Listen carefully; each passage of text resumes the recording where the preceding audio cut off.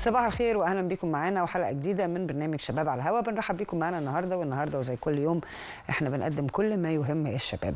آه، دايما شبابنا الحقيقة متميز في جميع المجالات وإحنا دايما بنحرص من خلال برنامجنا إن إحنا نعرض مواهبهم المختلفة.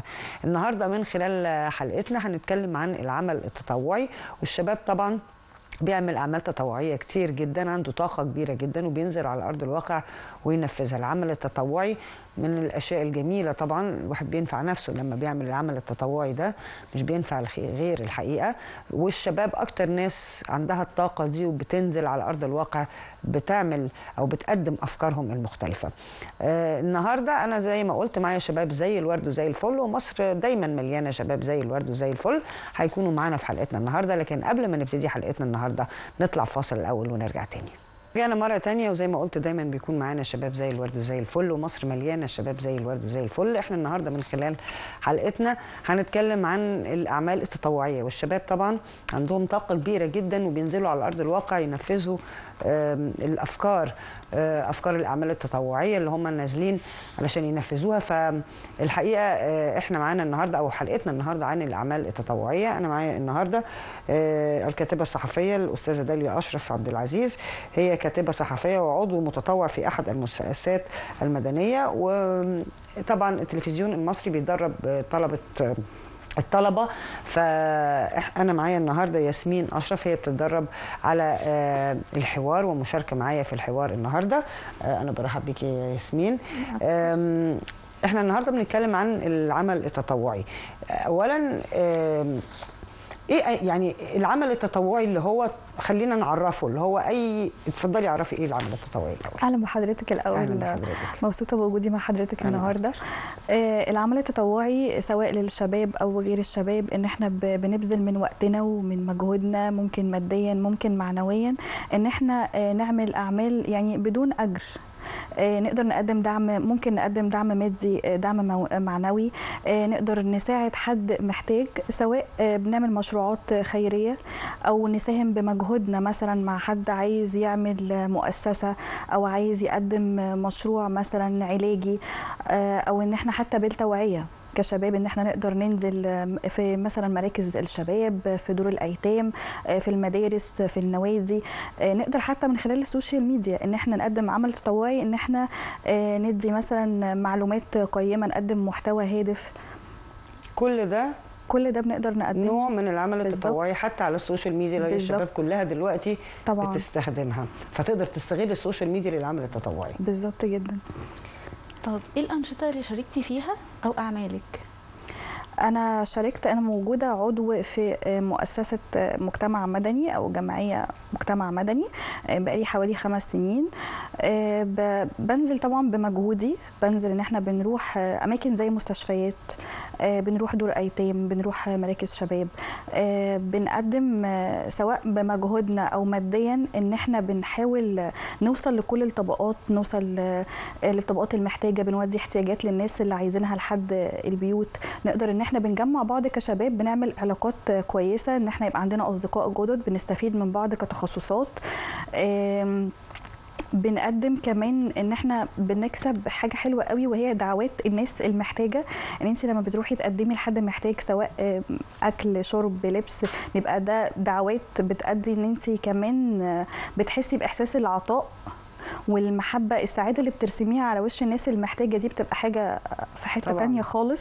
غير إن إحنا بنقدر نعمل علاقات بقى مع ناس كتير أكبر مننا أصغر مننا آه، بتوسع مداركنا. آه، بنقرا كتير برضو. بنحاول إن إحنا نوصل آه، إحنا ممكن نكون قاعدين في البيت ومش عارفين إن في ناس مثلا محتاجة لحاجة معينة محتاجة لدواء محتاجة للبس محتاجة حتى لثقافه أو توعية. فإحنا بندور على الأماكن دي وبنوصل لها لحد عندها. ممكن نعمل ندوة ممكن آه، نعمل مثلا يلا يا شباب نروح النهارده المستشفى كذا نشوفها محتاجة إيه.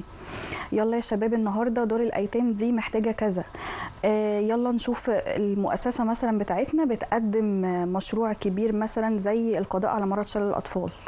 فاحنا بننزل برضو وبنروح معاهم وبنشوف نقدر نقدم لهم إيه آه، في مثلا مستشفى زي مرضى الجذام المستشفى دي في مكان بعيد خالص محدش يقدر يروحه محدش يقدر يدخله. بنتواصل مع مسؤولين المستشفى دي بنشوف احتياجاتهم إيه ونروح نوديها. آه بنحاول نبرز ده برضو إن إحنا نقول للشباب آه تعالوا جربوا ان أنتوا آه، ادخلوا معانا المكان ده شوفونا إحنا بنعمل إيه آه، تعالوا ساعدوا الناس. آه، في ناس بتقول لك أنا ما عنديش وقت أنا ممكن انزل اقعد في كافيه مع اصحابي أنا ممكن انزل اخرج. أنا إيه اللي يخليني اضيع وقت في ده؟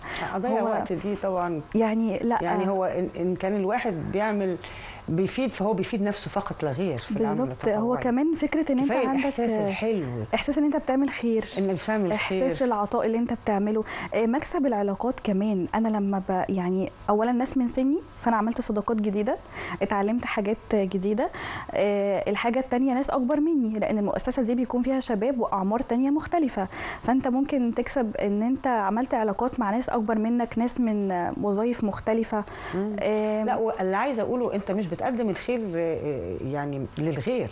بالظبط. آه أنت بتقدمه للغير بس هو في الحقيقة أنت بتقدمه لنفسك اولا يعني. دي قبل ال- العمل التطوعي حاجة جميلة غير. جدا. أنت بتعمل خير وبتحس إحساس حلو وبتاخد حسنات كمان. على ده. بالظبط إلى جانب إن أنت بت- بتعمل علاقات وبتوسع مداركك وبتشوف الحاجات اللي أنت مش شايفها أنت ممكن تكون في سقف عالي شوية فأنت مش شايف إن في ناس محتاجة مم. يعني وجودك مهم انزل و- وتشارك طب. إزاي العمل التطوعي يقدر يبني مجتمع يقدر يبني المجتمع مم. إن أنت مثلا بتساهم آه، بتساهم مع الدولة إن الدولة بتعمل مثلا مشروعات وليها مشروعاتها ومؤسساتها أنت مثلا كمجتمع مدني أو كجمعيات أهلية أو ك- كمثلا أحزاب المجتمع المدني يبقى فيه شباب فالشباب بتنزل وبتشارك في المشروعات دي. لو ما شاركتش ماديا فأنت بتشارك معنويا أو بوجودك أو بإن أنت توعي إن حد ينزل. التوعية بتاعتك اللي أنت بتعملها فبتساعد إن الناس دي تنزل وتبني المجتمع. طب إيه العقبات أو التحديات اللي بتواجه الشباب المتطوعين؟ عقبات بتواجه الشباب. أنا مثلا كعضو في مؤسسة في مؤسسة مجتمع مدني آه، عندنا آه، شباب وعندنا أعمار أكبر مننا. لما كنت رئيسة نادي الشباب فأنا مطلوب مني اللي هو لا لازم تجمعي شباب يبقى معاكي النادي مليان شباب كتير. طيب آه، من الحاجات اللي كنت بواجهها طب هو أنا يعني عندي وقت؟ أصل أنا يعني هنزل أعمل إيه؟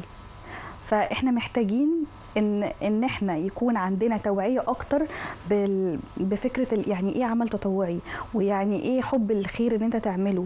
إن العقبة اللي كنت بواجهها أكتر حاجة إن أنا أقنع الشاب ده إن أنت لما تنزل وتعمل خير أنت بتستفيد. في غيرك بيستفيد. ان انت ممكن تقدر تعمل علاقات كويسة وصداقات كويسة. هتستفيد في شغلك هتستفيد في تغيير شخصيتك. انت لما بتتعامل مع ناس مختلفة من من محافظة تانية من مكان تاني من بيئة تانية من عمر تاني فانت بتوسع مداركك بتوسع دايرة علاقاتك تستفيد في شغلك. بس فدي من العقبات اللي أنا بقابلها شخصيا ان أنا مش عارفة في ناس كتير مش عارفة أقنعهم التط- العمل التطوعي أو يعني هو حلو في قد إيه إن أنت ممكن تنزل وتعمل حاجة حلوة أنت هتستفيد. يعني الشباب دلوقتي عشان الدنيا سريعة كل واحد عنده التزامات عايز يعملها عنده شغله أهم حاجة فاللي هو مركز إن أنا هنزل أعمل إيه؟ يعني أنا هيبقى دوري إيه؟ لا أنت دورك مهم. أنت دورك بتعمل خير أنت دورك بتستفيد بتوسع دايرة علاقاتك. طب لو حد من الشباب في بيسمعونا دلوقتي مش عارف ولا يروح فين ولا يعمل إيه ولا يبتدي منين وعايز يعمل حاجة إيه أنواع الأعمال التطوعية اللي ممكن الواحد يدخل نفسه فيها؟ أنواع الأعمال التطوعية مم. إحنا ممكن نقول الأول مثلا أنت تروح للمؤسسه دي بتقدم إيه آه، مناسبة ليك ولا لأ وقتك اللي ممكن تقدر. أصل أنت عندك أولويات في حياتك برضو. عندك حياتك عندك شغلك عندك صحابك عندك أهلك. فأنت شوف المؤسسة المناسبة ليك بتقدم مشروعات المناسبة اللي أنت تقدر تقدم فيها حتى لو مش ماديا مجرد معنويا أنا معيش فلوس بس. عايز اعمل عمل آه تطوعي أنت ممكن تتبرع حتى بالملابس بتاعتك اللي أنت مش مش هتستخدمها تاني بس تكون ملابس كويسة.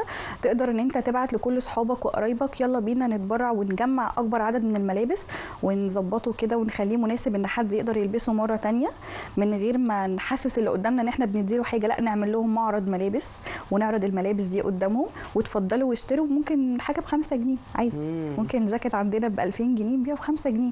ما حسسناش حد محتاج إن هو مش معاه وفي نفس الوقت عملنا خير واتبرعنا بالحاجة دي. ممكن تنزل مثلا مع ناس بتبني مستشفى انزل وبمجهودك وشارك روح معاهم. انزل زور مثلا دار ايتام آه، انزل زور مستشفى. شوف لو حتى هتفرح اطفال آه، بالونات بسكوتات على قد ما, ما انت تقدر ان انت تبقى توفر حاجة حتى لو بسيطة. وجودك أصلا دعم معنوي كبير مثلا لمريض لمحتاج. والدعوات دي بقى في حتة تانية خالص. يعني الدعوات اللي بتاخدها من من حد محتاج بعد ما بتروح له دي انت بتتغير نفسيتك بتتغير خالص يعني. طيب آه، إزاي نوعي الشباب بأهمية العمل التطوعي؟ ومثلا زي مثلا نعمل حملات نعمل إيه عشان نجذب الشباب للعمل التطوعي ده؟ نجذب الشباب للعمل التطوعي إن إحنا اولا بنبرز الإيجابيات. يعني إن إحنا عملنا مشروع خيري عملنا دعم عملنا مبادرة عملنا عملنا أهم حاجة في كل ده الحاجات دي ما بتظهرش لأ تظهر سواء على السوشيال ميديا سواء على الإعلام. لما حد يشوف غيره بيعمل حاجة فهيتشجع ويعملها. يعني إحنا مش بنطلع نتكلم نقول إحنا بنعمل وبنعمل وبنعمل بنشكر في نفسنا أو بنتكلم في عمل خير إحنا عملناه. لا إحنا بنعمل ده وبننشره عشان الناس تعمل زينا. في غيرك بيعمل خير أهو في غيرك آه، نزل آه، آه، عمل علاقات حلوة إن هو اتعرف على ناس جديدة. خلي بالك عمل العلاقات مش استفادة مادية أو إن أنا أستفيد في شغلي أو إن أنا أستفيد في ده.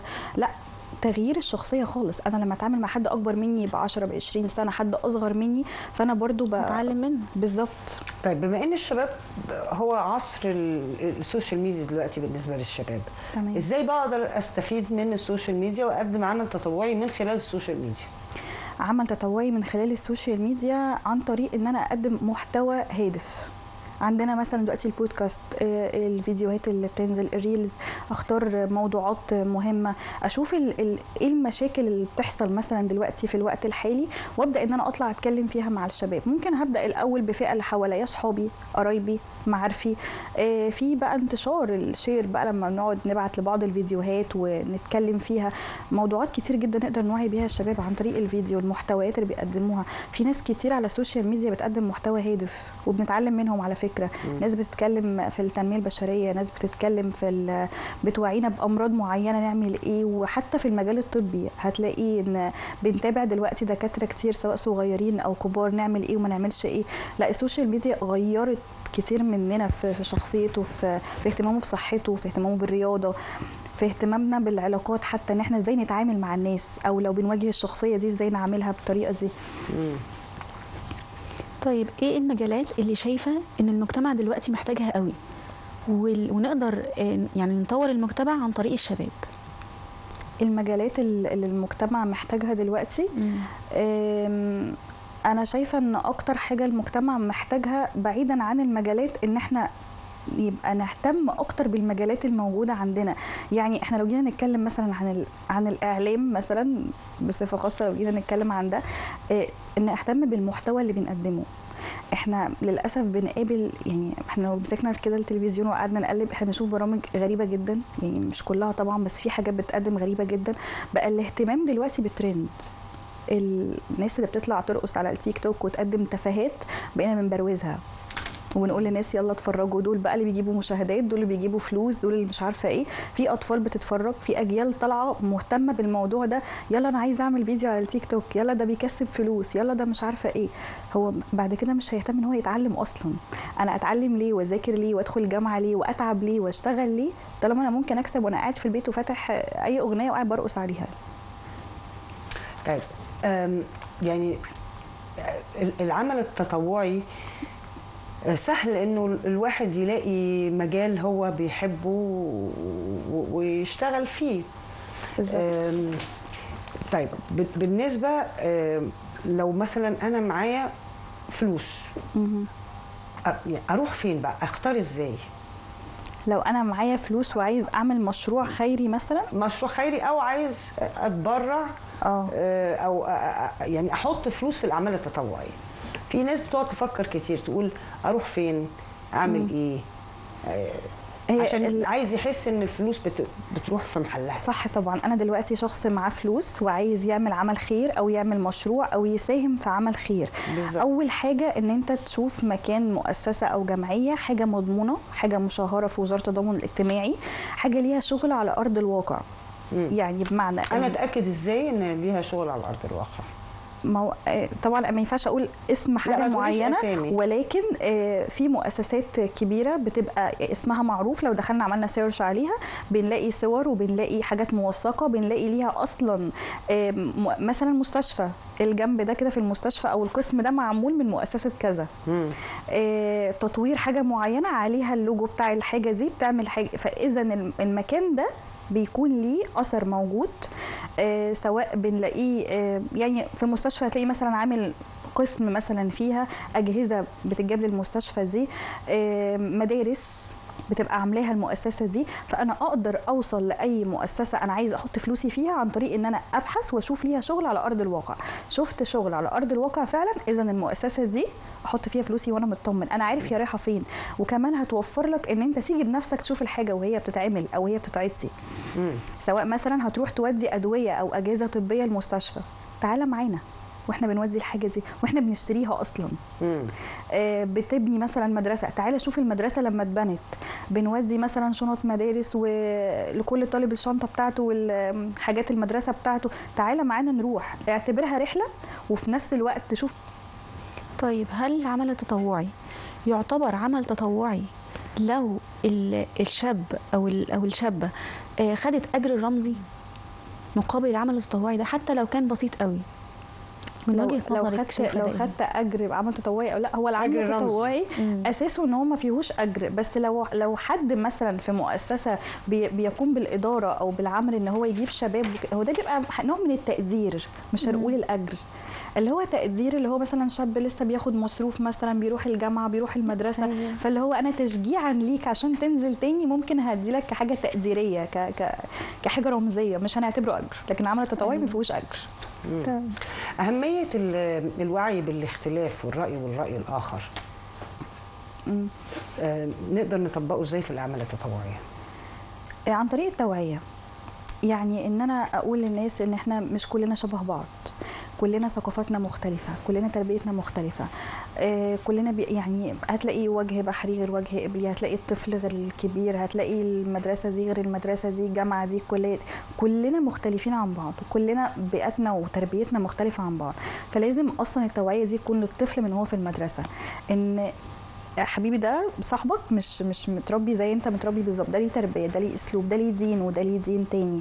لازم اوعيني في حاجة اسمها اختلاف. ده مش معناها ان إحنا ضد بعض بس ان إحنا وجهات نظرنا مثلا مختلفة معتقداتنا مختلفة. فاحنا بنكمل بعض. ان الاختلاف بالنسبة لنا دي حاجة حلوة نكمل بعض. ممكن تقنعني بوجهة نظرك واقنعك بوجهة نظري بس ده مش معناه ان إحنا نأدي في الآخر لخلاف ونتخانق مع بعض ونعمل مشكلة. فأنا شايفة إن دي التوعية من أول الطفل. بعد كده بنبدأ برضو نتكلم مع الناس ونقول لهم آه، عن طريق التوعية بالمبادرات بالندوات عن طريق ال social media في الإعلام إن لازم يكون عندنا آراء مختلفة. مش طبيعي إن إحنا كلنا كبشر نجتمع على رأي واحد. مم. يعني لازم يبقى فيه توعية بأهمية الاختلاف في الرأي. طيب يعني إيه بقى كلمة إعلامي؟ يعني إيه كلمة إعلامي؟ آه. هو الإعلامي عامة اللي هو سواء يعني بيقدم برنامج أو بيقدم محتوى آه، أو بيكتب مقال يعني هو بيبقى شخص بيوصل حاجة لل لباقي الناس عن طريق سواء بقى إعلام مقروء إعلام مسموع إعلام مكتوب. الإعلامي هو بي زي وسيلة حد بيوصل حاجة للمشاهدين بيوصل صوت. الناس بالظبط. عن طريق لسانه بالظبط بيكتب أو. بيقول سواء في الإذاعة في التلفزيون في الصحف. طب إزاي أقدر أقول إن الإعلامي ده ناجح؟ يعني إيه الصفات اللي بتميز الإعلامي الناجح؟ صفات بتميز الإعلامي الناجح اولا كشخصية يكون عنده كاريزما يكون عنده قبول يكون شخص بشوش. الناس تفتح التلفزيون تجيب البرنامج بتاعه حابة تتفرج حابة شخصيته حلوة جذابة. آه، تاني حاجة يكون شخص مثقف على دراية بالايه اللي بيحصل في العالم حواليه. آه، يكون آه، هيقدم برنامج النهارده أو هيقدم محتوى هو مذاكره كويس جدا. هو جايب ضيف متخصص فيه. هو المحتوى الهادف اللي بيقدمه هيجذب المشاهد ليه عشان يتفرج عليه. هل انت بتتكلمي عن الإعلام ودوره في العمل التطوعي؟ أكيد مم؟ الإعلام دوره في العمل التطوعي آه. ده وال- وال- والإعلاميين ودورهم في الأعمال التطوعية مم. الإعلاميين في ال- بصي أنا شايفة إن الإعلام في العمل التطوعي مهم جدا ليه مش علشان أبرز الجمعية المعينة ولا المؤسسة المعينة لأ علشان أشجع الناس أنا النهارده آه، في مؤسسة معينة وبقدم أعمال خير. آه، بقدم مثلا توعية بقدم مبادرات بقدم بقدم دعم مادي أو دعم معنوي ايا كان شكله إيه في ناس كتير ما تعرفوش. طب أنا عايزة أشجع الناس عايزة نكون أكتر. بدل مثلا ما إحنا في جمعية 5000 شخص عايزة نكون 10 نكون 20 نكون 50 إزاي؟ الناس هتتشجع إزاي؟ عن طريق الميديا. يشوفوا الكلام ده في التلفزيون يشوفوه على ال social media. لازم بنوثق الحاجات دي عشان ننشرها ونساعد على زيادة إن إحنا يكون معانا ناس تانية. فالإعلام دوره مهم جدا. لا بيوصل ده للي مش للي مش عارف. يوصله للناس. هو صوت الناس. حتى لو في آه، مشكلة أو في حاجة بتواجهنا لا إحنا الإعلام بيتكلم عنها. فنبدأ المسؤولين ياخدوا بالهم ويبدأوا يساعدونا ويشوفوا محتاجين إيه. طيب آه، إزاي نقدر آه، يعني نحبب أطفالنا من وهم صغيرين في الأعمال التطوعية بحيث إن تبقى في دمهم كده لما يكبروا يعملوها. مهم جدا إن الطفل ده من دور هو- مين؟ هل ده دور الأهل ولا دور المدرسة ولا دور مين؟ دور الاثنين مهم جدا إن الطفل من هو صغير علشان نقدر إن إحنا نعوده على حاجة معينة أو يكبر عليها إن إحنا من هو صغير في البيت نقول له بعد كده في المدرسة طبيعي إن المدرسة برضو تعلمه. معنى في البيت اللي هو إيه؟ آه، ممكن وهو رايح مثلا المدرسة مامته بتديله مثلا ساندوتشين تخليهم ثلاثة تقول له. مثلا ادي واحد مثلا لصاحبك أو لحد مثلا من العمال شغالين مثلا في المدرسة أو كده. يعني يتعلموا إنه يكون مع بالظبط بالظبط. أو تديله مثلا تقول له مثلا أنت معاك اتنين مثلا جنيه خليه 50 قرش مثلا أو جنيه معاك أنت هتديه لكذا هتعمل كذا. وهم ماشيين في الشارع ممكن طفل مع مامته تديله فلوس تقول له مثلا اديها لحد كذا. أو بيشتري حاجة من السوبر ماركت تجيب بسكوتة مثلا زيادة عشان لو لقى طفل مثلا في الشارع يديها له يفرحه. آه تعال نجيب بلالين ونروح نديها مثلا لاطفال في دار أيتام تفهموا ده يعني إيه أصلا؟ بيعملوا إيه؟ هيكبر هيبقى عارف إن آه أنا كنت بعمل كده وأنا صغير أنا عايز لما أكبر أعمل ده. هيبقى طالع طفل عنده حب للخير وحب لل- للعطاء والإسعاد الآخرين. طيب ال- ده آخر سؤال الطفل. غالبا. طيب ال- الطفل لما يتعود من صغره على على التطوع العمل التطوعي هل لما يكبر هيفضل مستمر فيه ولا هو ممكن يكتفي بإن هو بس تطوعي وعنده إيثار فده تعامله الشخصي؟ هل بقى هو يعني هي هيقتصر على ده ولا هيحب يشارك في المجتمع بقى وي- ويبقى ليه دور في المجتمع؟ طبيعي إن الطفل وهو صغير طالما اتعود على حاجة وبقى عنده الايثار زي ما انت بتقولي آه إن هو خلاص هو كبر على ده فبقى الموضوع أكيد هيزيد عنده أكيد هيبقى كل ما بيكبر هو عايز يعمل حاجات أكتر حاجات أكبر آه بقى معاه فلوس أكتر هيبقى عايز بقى يشارك بدل دعم مادي بس أو بحاجات بسيطة يبقى يشارك بحاجة أكبر. فلا. يبقى عنده فضول دايما إن هو يبقى أحسن. بالظبط. هو لما يكبر هيبقى أحسن. طالما الط- الطفل اتعود يبقى مت... يبقى مش هقول لك متطوع من هو طفل اتعود يعمل خير أو اتعود يبسط غيره هيكبر على ال... على الحالة دي. مم. يعني إحنا علمنا الطفل إن في حاجة اسمها إسعاد الآخرين حاجة اسمها خير. فأنت كل ما بتكبر لا أنت عايز تقدم أكتر. هل المدارس المفروض تكتر من أنشطة الأعمال التطوعية؟ آه، تكتر آه وكمان توعي أكتر. لأن آه، هو لما تلاقي مثلا في المدرسة عاملين اللي هي الانتخابات بتاعة الفصل دي وكده ويلا قوم علق الزينة يلا قوم حط اللوحات على الحيطة يلا قوم مش عارفة اعمل مشاريع إيه. كنا بنعملها في المدرسة وإحنا صغيرين. مش عارفة دلوقتي لسه الكلام ده ولا لأ. بس آه، هو بيشارك في المدرسة إن هو يبقى المدرسة نظيفة أو إن شكلها حلو أو بيعمل نشاط معين فهو برضو هنا بيتطوع. لما ياخدوه اللي هو زيارة لملجأ أيتام زيارة لدار مسنين زيارة مش عارفة إيه يلا ننزل مثلا آه، نشوف الأطفال في المكان ده محتاجين إيه يلا نشوف آه، دول لما نعلمهم في المدرسة على الأنشطة دي أو ناخدهم معانا يعملوا الحاجة بإيديهم هم هيكبروا عليها وهيعرفوا أهميتها وهيحسوا بالإحساس الحلو اللي منها فهم هيكبروا عايزين يعملوا ده على طول. أنا الحقيقة الوقت خلاص خلص. أنا بشكر حضراتكم جدا بشكر شكراً. حضرتك بشكر جدا على حضرتك. ميرسي جدا. شكرا. آه، مشاهدينا إحنا انتهينا من حلقتنا النهارده. بكرة إن شاء الله حلقة جديدة وبرنامج شباب على الهواء.